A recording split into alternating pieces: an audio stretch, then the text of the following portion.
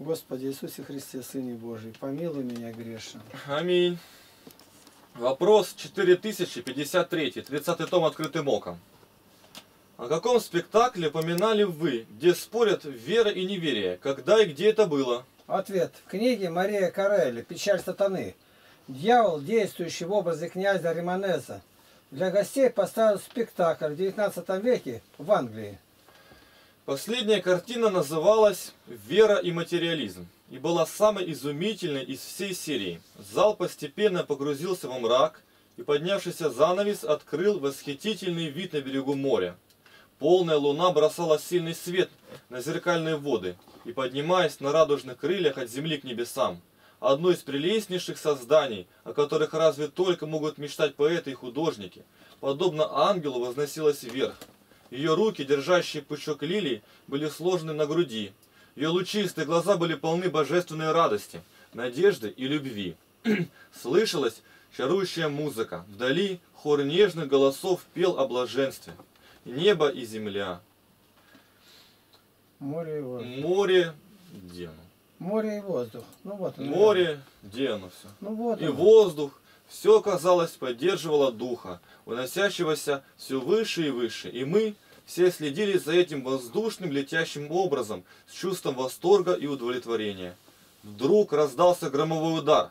Сцена потемнела, и послышался отдаленный рев рассверепевших вод. Померк лунный свет, прекратилась музыка, блеснул красный огонек. Сначала слабо, потом более явственно и показался материализм. Написано материализм.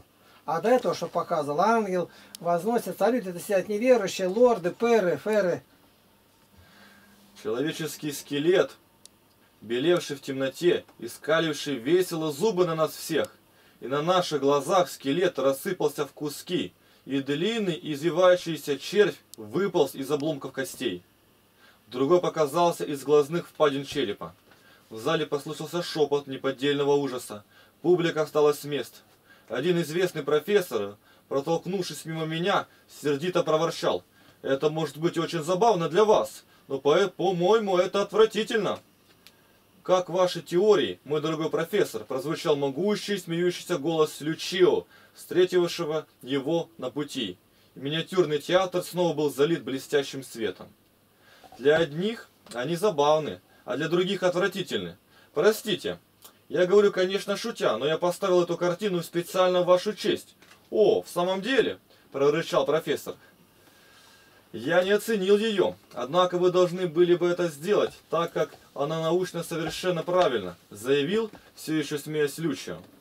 Вера с крыльями, которую вы видели, радостно летящих к невозможному небу, не научно правильно. Разве вы нам этого не говорили? Но скелеты черви совершенно ваш культ. Ни один материализм не может отрицать правильности того состояния, к которому мы все и придем наконец. Положительно, некоторые дамы выглядят бледными. Как смешно, что все, чтобы называться светскими и войти в милость у прессы, принимают материализм, как единственную веру, а между тем боятся естественного конца жизни. Поверьте мне, что я настоящий князь и такого рода, каким ни одна из ваших старейших фамилий не может похвалиться. Но мое царство разрушено, и мои подданные рассеяны между всеми нациями. Анархия, нигилизм и политические смуты вообще заставляют меня скорее умалчивать о моих делах. К счастью, у меня деньги в изобилии, и только ими я прокладываю себе путь.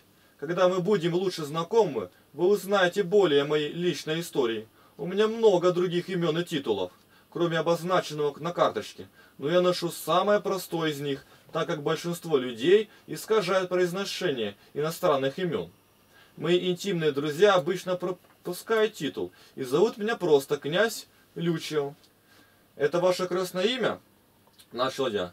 Нисколько, у меня нет крестного имени. Прервал он поспешно и гневно. Я не христианин, он говорил с таким нетерпением, что на минуту я смутился, не зная, что ответить. Вы не христианин и в действительности никто. Люди претендуют ими быть в этом лицемерии, достойном проклятия. Они более богохульны, чем падший дьявол. Но я, Не притворяюсь. но я не пред... Я не притворяюсь. У меня только одна вера. И это глубокое и страшное... это, он спрашивает, и какая вера? Это, ты видишь кавычки-то? Ага. А это говорят разные люди. Говорит с ними как раз э, Темпест. И это глубокая и страшная вера, сказал он дрожащим голосом. И хуже всего, что она правильна. Правильно, как машина мироздания.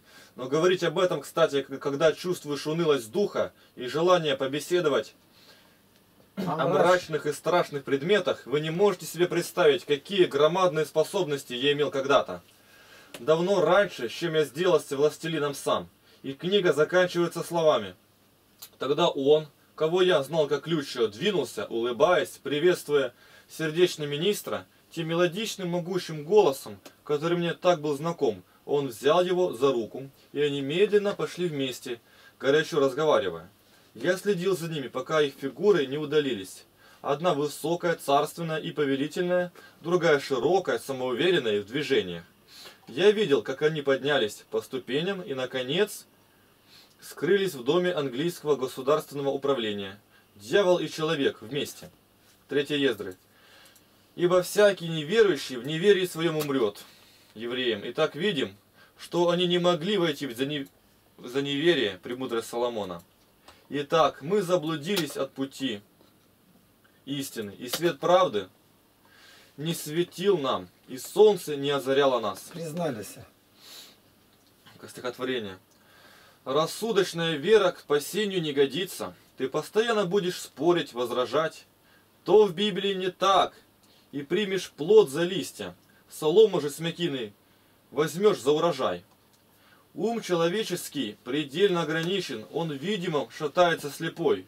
Любой ученый рядом с верой нищий, и бабушка смиренная узрит его клопом. Для разума абсурдно все, что непонятно, чего нельзя измерить на весах, приборах. А потому в неверии сплошные всюду пятна. К чему не прикоснется, умом все перепортит. Для веры нет границ, ограничений. Она везде по Библии глаголит лишь «Аминь». Прожектором рассеет мгновенно мрак вечерний и властно повелит «Неверие сгинь». Без веры невозможно Богу угодить. И надобно, что приходящий к Богу верил. Без веры человек нахален, дерзок, дик. Не к небу, только в ад стремится первым. Уверенность в невидимом дарует людям вера, и ожидаемое сможет в раз осуществить. Из водоема веры всегда привыкни черпать. Где веры нет, там волки все раздерут в клочки. Лицо, открытое в душе преображение, при вере в Троицу в Спасителя Христа, оставив мир мятежный, о том не пожалеем, напишем жизнь свою мы с нового листа. Умом непостижимая Давидова псалтирь нам дирижирует на тайнах чуда веры, за гранью видимого простираясь вширь, вдаль бесконечности подвижников примеры. Глубокой верой древле отличался Ной, в главе 11 из письма к евреям. Там целый сон подвижников, они со мной. Неверующий, образумся, обратись скорее. 31 октября 2008 года, Игла. Мои стихотворения путаете с. Мои же они резко